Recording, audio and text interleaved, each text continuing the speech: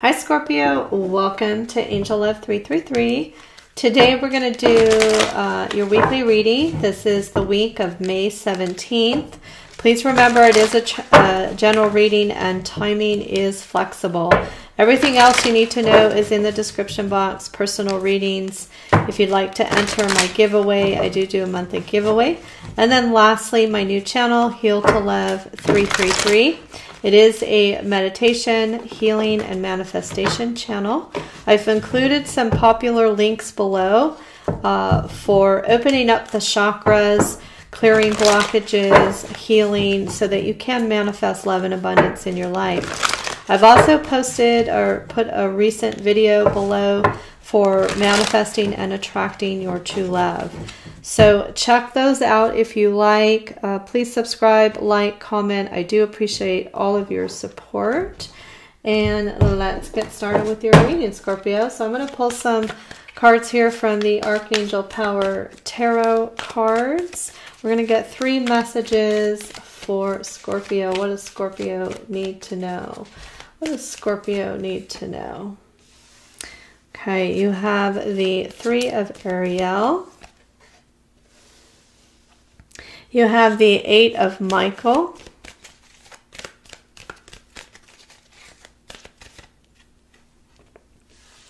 And you have the Chariot.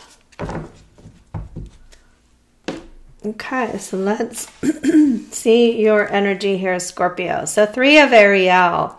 This is an energy here of do what you love, a time of great personal growth in your career or artistic endeavors, working with others in a cooperative manner. So this is can be teamwork. You may be working on some sort of project, coordinating with somebody.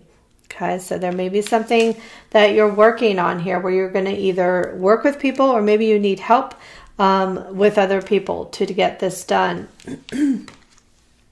It can be, you know, this can be career. This also can be love. So this can be the energy too of you and somebody working on something together. Now you have the Eight of Michael. You can be free. Make a courageous choice to change your situation, not seeing things clearly. So this is like that Eight of Swords energy. So there may be some sort of fear, okay, um, or some anxiety or something that is keeping you stuck here. And it may be, um, you know, either having to work or coordinate with other people. This could be a job situation, could be a work situation, uh, even love here. But they're they're saying here to break free of that. Okay, make that change in your life here. Okay, you're going to see things a lot clearly. Now you also have here the chariot, Archangel uh, Metatron. Number seven, determination and self control, career advancement, acknowledgement of success by others. So, yes, this is saying here if you can break through of that um, stuck or fear mentality here, there is success ahead. So, beautiful, beautiful energy. This is also Cancer energy could be dealing with a Cancer. You also have Aquarius, Libra, Gemini, Capricorn, Taurus, Virgo energy. So whatever you're you're needing to work on, collaborate with someone. All right. Uh, it says here there's going to be success ahead. You know, it can be like it said, a career advancement. Could be a relationship. Could be your business. Could even be a situation with family. Okay, just whatever messages it is for you, take it. This is the weekly readings is anything goes, okay? Anything can uh, pop up in this reading. All right, let's pull some tarot. Thank you, angels and spirit, for your guidance. I pray that this reading for Scorpio is for the highest good and purest intentions. I pray that you give Scorpio the accurate messages and details they need to know for their journey. I pray that this reading will give them clarity and healing if needed. I thank you for your love, your wisdom, and your guidance, and may there always be love and light here. Amen.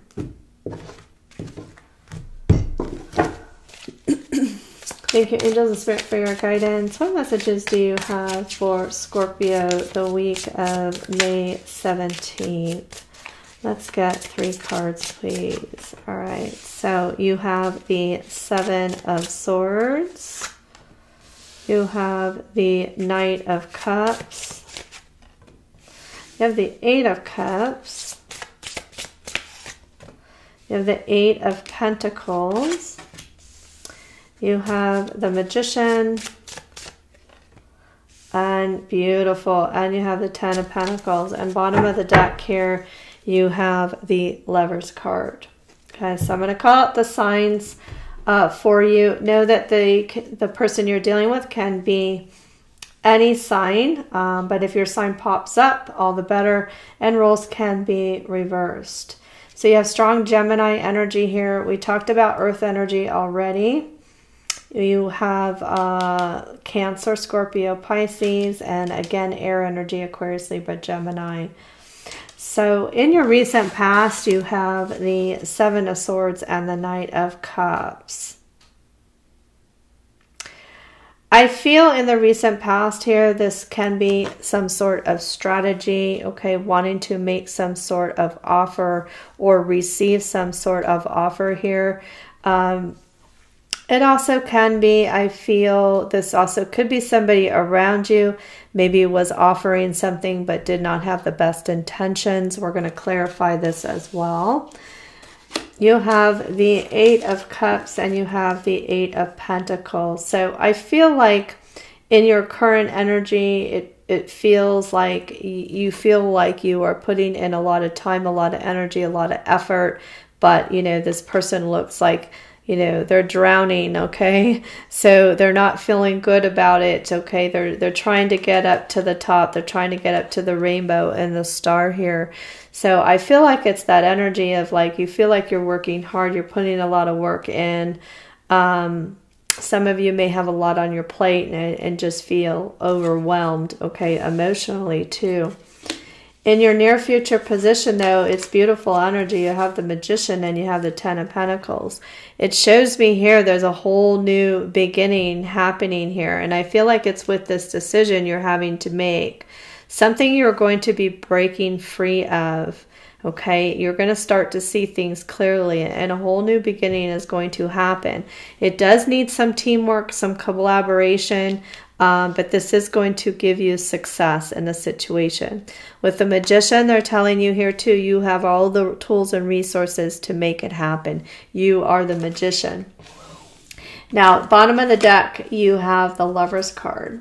Okay, look at that. You have the lover's card and you have the eight of wands. So if this is a love situation, there is somebody coming towards you. It could be a new love. Um, Maybe some of you are needing to put yourself out there, okay, uh, amongst other people here with that three of Ariel. Um, you know, making some sort of action, being determined, having control okay because um, i do see here there's some sort of soulmate or loving energy coming towards you. Now this could be somebody else that you already know where there is communication and and collaboration teamwork working together uh, in this situation. Now if this is not about love for you i feel like this is something that's very close and dear to your heart I feel there is um, a change in the energy. I feel you're going to start to become more passionate about what you do or whatever the situation is for you. There could also be some travel here, I'm seeing as well, some distance in the situation. Excuse me, I'm just going to take a, a sip of my tea really quick. Clear my throat. All right. Let's uh, clarify why is the Seven of Swords and the Knight of Cups here, please? Why is the Seven of Swords and the Knight of Cups here, please? Okay, you have the Six of Swords. That's that travel card I talked about. The Chariot again, double confirmation there.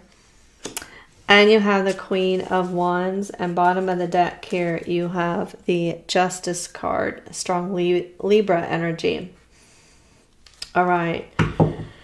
So I feel like in the past, if you felt like you were not treated fairly in the past, Um, I feel that's changing here with the Justice card. There's going to be an end to that situation. So there may have been a, a hurtful or painful situation in the past. Something was devastated, like I said.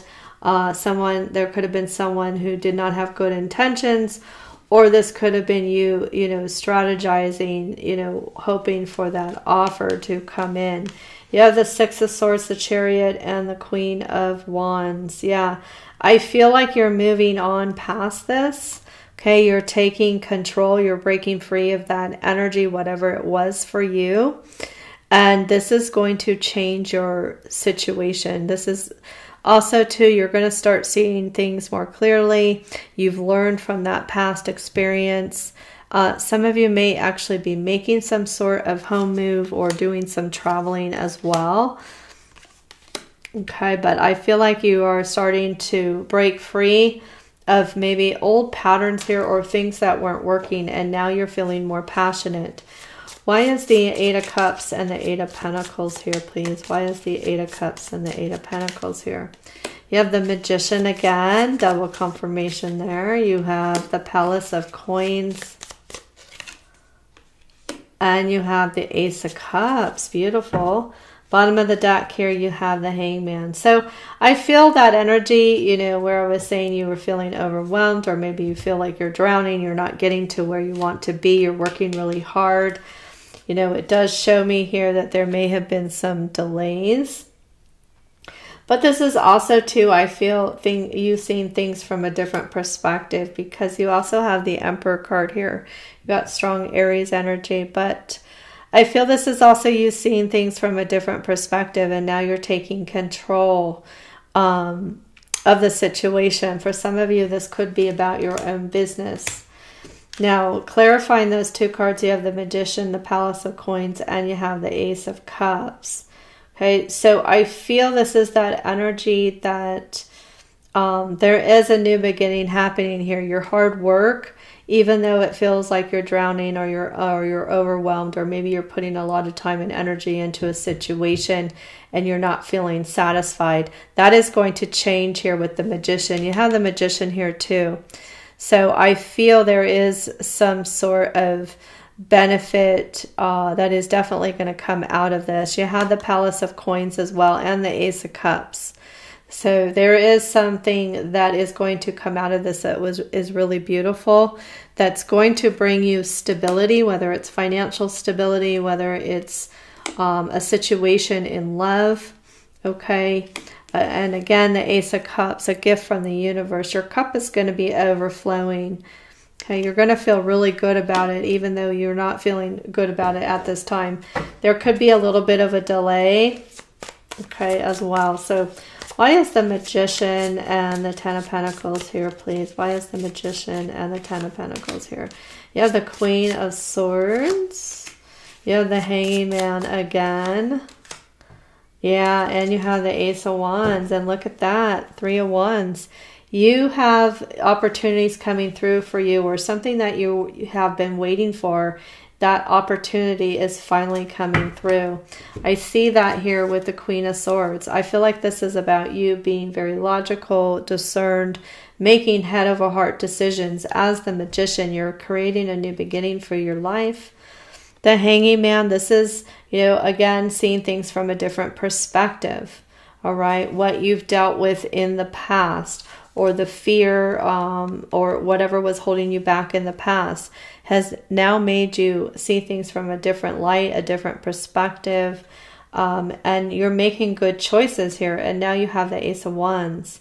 There's a new opportunity coming in for you. As I said, look at that. You have the Ace of Coins with the um, Three of Wands. There is a new opportunity coming to you. You had the Ten of Pentacles here as well, something that's going to bring long term abundance. So, as I, um, you know, as I said, if this is a business or a career or something here, um, I feel once you break free uh, from the stuck mentality or, you know, feeling uh, fearful, I feel like there is a beautiful um, payoff here, okay, with this Ace of Wands too. Very uh, nice energy here for your Scorpio. Okay, but there is some sort of need of collaboration, right? Whether this is in love or this is uh, has to do with your finances. So let's uh, pull the possible outcome. Thank you, angels and spirit, for your guidance. What's the possible outcome here for Scorpio the week of May 17th? that one wants to come out.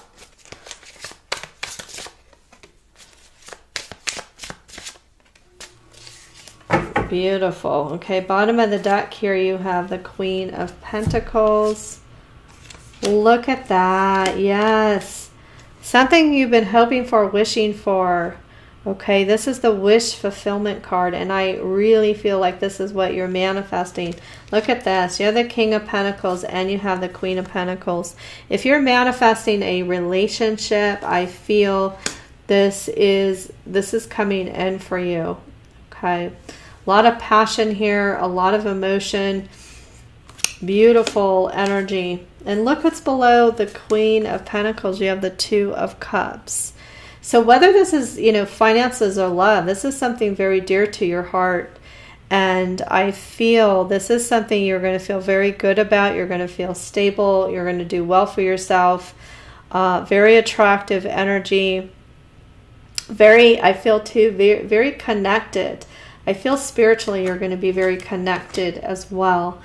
Okay, so we talked about the King of Pentacles, and look at that. You have the Empress. Okay, this fell with the Magician, the Ten of Pentacles.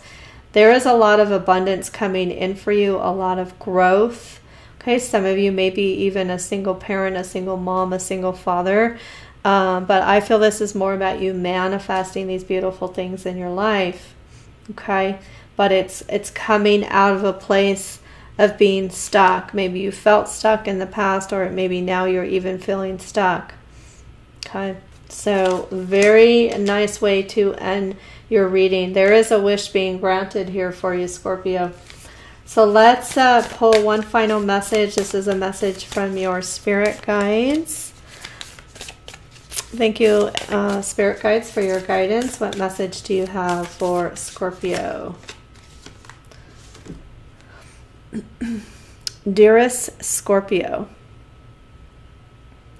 isn't it amazing how things seem to come around again, full circle, in ways you could not possibly have planned?